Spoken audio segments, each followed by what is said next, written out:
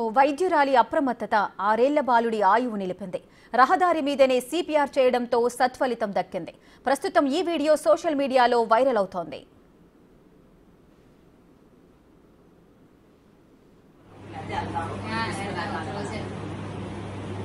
నవరా?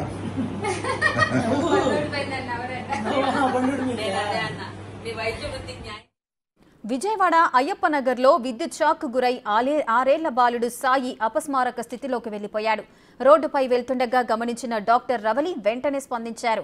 రోడ్డుపైనే పడుకోబెట్టి సిపిఆర్ చేసి ప్రాణాలు పోశారు. తర్వాత ఆసుపత్రికి తరలించి బాలుడికి చికిత్స అందించడంతో పూర్తిగా కోలుకున్నాడు.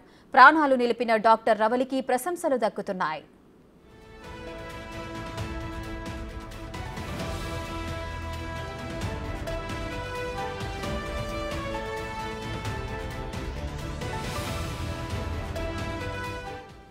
ఈ క్రమంలో డాక్టర్ రవలితో మా ప్రతినిధి మల్లికార్జున్ ఫేస్ టు ఫేస్.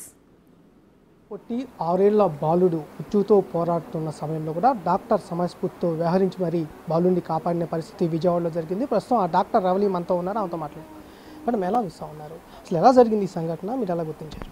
నేను ఊరెళ్ళి వస్తున్నానండి. వస్తున్నప్పుడు వెనక కోదాడ నుంచి వస్తున్నా. ఆ అయ్యప్ప నగర్లో నాయనమ్మ దించి ఇంటి దగ్గర నేను బ్యాక్ రిటర్న్ ఇంటికి వెళ్తున్నప్పుడు అయ్యప్ప నగర్ ఫస్ట్ రోడ్లో బాబు అన్కాన్షియస్గా ఉన్నాడు. అది చూసి వెళ్ళి ఏంటని అడిగాను. అడిగితే ఎలక్ట్రిక్ షాక్ కొట్టిందమ్మా కాలు చేతులు ఆటలేదని చెప్పి చెప్పారు. ఏం మాట్లాడట్లేదు బాబు అని అంటే ఇంకా వెంటనే బ్రీదింగ్ పల్స్ చూశాను. బ్రీదింగ్ అయితే లేదు బాబుకి. కొంచెం పల్స్ కూడా చాలా తక్కువ కొట్టుకుంటుంది. ఇంకా వెంటనే ఇంకా అక్కడే రోడ్డు మీద పడుకోబెట్టి సిపిఆర్ అనే ప్రొసీజర్ స్టార్ట్ చేశానండి. సిపిఆర్ స్టార్ట్ చేసి ఫైవ్ మినిట్స్ దాకా చేశాను. అప్పటికి రెస్పాన్స్ లేదు. ఫైవ్ మినిట్స్ తర్వాత uh, ఎప్పటికో uh, ఒక ఇంకా థర్టీ సెకండ్స్ చేసిన తర్వాత బాబుకి ఆ గ్యాస్పింగ్ రెస్పాన్స్ అనేది ఇచ్చాడు నాకు బాబు. అనే రెస్పాన్స్ వచ్చింది. ఇంకా అది నాకు మంచి సైన్లా అనిపించింది. ఇంక కంటిన్యూ చేశాను. మూమెంట్ వచ్చింది. ఐ మూమెంట్ భుజాలు కూడా హ్యాండ్ మూమెంట్ వచ్చింది. ఇంకా అప్పుడు uh, అంబులెన్స్ అప్పటికే అంబులెన్స్ కాల్ చేయమని చెప్పాను నేను సిపిఆర్ చేస్తా. అంబులెన్స్ రాలేదు టైంకి నేను ఇంకా అక్కడ టూ వీలర్ ఒకరిని ఆల్రెడీ ట్రాఫిక్ జామ్ అయిపోయింది బాగా. టూ వీలర్ ఒక ఆయన ఇంకా హెల్ప్ చేశారు. అక్కడ నుంచి బాబుని తీసుకొని వెళ్ళారు హాస్పిటల్కి కాలు కొంచెం పైకెత్తి హెడ్ కిందకుంటే మనకి బ్రెయిన్కి బ్లడ్ సప్లై ఆగకుండా ప్లస్ ఏంటంటే బాబుకి బ్రీతింగ్ తీసుకోవట్లేదు. మింగలేడు కాబట్టి ఆ సెక్రిషన్స్ అన్ని బయటకు వస్తేనే మనకి ఉంటుంది కాబట్టి ఫ్రీగా యా, అలా పెట్టి పంపించాను. బాబు కాన్షియస్లోకి వచ్చి ఏడవడం స్టార్ట్ చేశాడు హాస్పిటల్కి వెళ్ళాక. వాళ్ళు నాకు ఫోన్ చేసి చెప్పారు. డాక్టర్ ఎవరైనా కూడా దారిని పోయేటప్పుడు ప్రాణ పరిస్థితిలో ఉన్నా కూడా రిస్క్ తీసుకోరు చాలామంది. మీరు ఆ రిస్క్ తీసుకొని మరీ కాపాడిన పరిస్థితి ఎలా ఫీల్ అవుతుంది? రిస్క్ తీసుకున్నానండి. బాబు సిక్స్ ఇయర్స్ కాబట్టి నాకు వెళ్ళిపోవాలనిపించలేదు. చాలామంది వెళ్ళిపోతారు. బట్ నాకు ఎందుకో ఆ టైంలో చేయాలనిపించింది. నేను వెళ్ళి చేశాను. బాబు బాగున్నాడు. డాక్టర్స్ నుంచి ఏమైనా అభినందనలు రావటం కానీ ఎవరైనా స్పందించడం కానీ ఏమైనా మాట్లాడటం కానీ నాకు చాలామంది ఫోన్ చేశారండి. మా నేను గైనకాలజిస్ట్ మెడ్సీ హాస్పిటల్స్ లైక్ ఐవీఎఫ్ సెంటర్ ఇది. బేబీస్ని పుట్టించడం ఇక్కడ చేసేది. సో అలాంటిది పన్నెండేళ్ళ తర్వాత పుట్టిన బాబు వాళ్ళకి సిక్స్ ఇయర్స్ బాబు. సో నాకు అక్కడ నుంచి వెళ్ళాలనిపించలేదు. సో నేను ఆ కార్ ఆపి కార్ ఆపడం వల్ల అక్కడ మొత్తం ట్రాఫిక్ జామ్ అయిపోయింది. బట్ ఎవ్రీథింగ్ ఈజ్ సెకండరీ అండి. లైఫ్ ఇంపార్టెంట్ అని చెప్పి నేను చేయాల్సింది చేశాను. బాగున్నాడు అదే చాలు. ఏమైనా మాట్లాడారా మేడం? ఆ బాబుతో కానీ తల్లిదండ్రులతో కానీ బాబుని హాస్పిటల్కి తీసుకెళ్ళాక ట్వంటీ ఫోర్ అవర్స్ అబ్జర్వేషన్ చెప్పారండి. బాబు బాగున్నాడు సిటీ స్కాన్ కూడా తీశారు హెడ్. నార్మల్ అయిన నార్మల్ వచ్చింది రిపోర్ట్. తర్వాతనే వాళ్ళు డిశ్చార్జ్ చేశారు. ఆ తర్వాత వాళ్ళ పేరెంట్స్ వాళ్ళ ఫాదర్ నాతో మాట్లాడారు. చాలా బాగున్నాడమ్మా థ్యాంక్ యూ. ఇంకా తెలిసిందే కదండి వాళ్ళు పేరెంట్స్ ఎట్లా రియాక్ట్ అవుతారనేది. యా.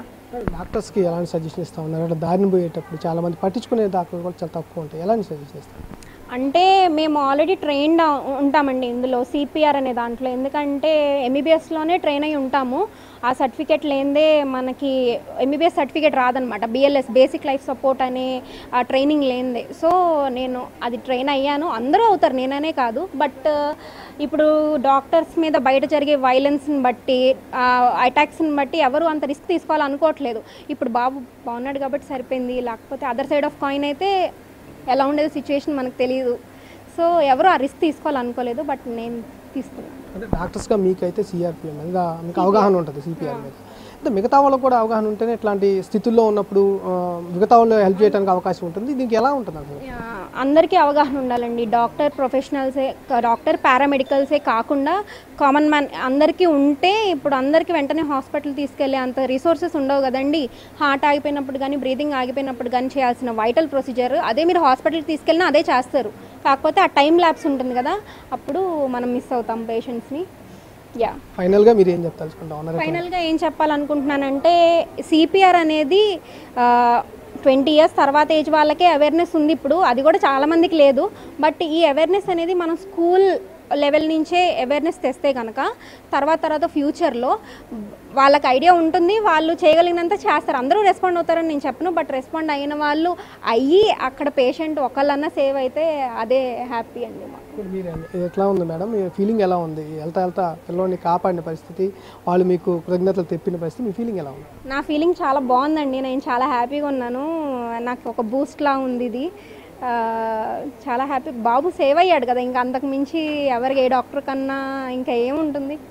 యా తను చాలా హ్యాపీగా ఫీల్ అవుతున్నాడని ఆ తల్లిదండ్రులు కూడా లేక లేక పన్నెండు సంవత్సరాలతో పుట్టిన పిల్లవాడని తను కాపాడినందుకు తల్లిదండ్రులు కూడా చాలా హ్యాపీగా ఫీల్ అయ్యి తనతో మాట్లాడటం జరిగిందంటూ కూడా ఆమె చెప్తా ఉన్నారు. చాలామంది ఇలాంటి రిస్కులు తీసుకోవాలని తీసుకుంటేనే ఇట్లాంటి ప్రాణాలను కాపాడటానికి అవకాశం ఉంటుందని ప్రతి ఒక్కరు కూడా సిపిఆర్ అనేది అవగాహన ఉండి ఉండాలంటూ కూడా ఆమె చెబుతున్న పరిస్థితి కూడా కనిపిస్తూ ఉంది. కెమెరామెన్ అర్బాజ్తో మల్లికార్జున బిగ్ టీవీ.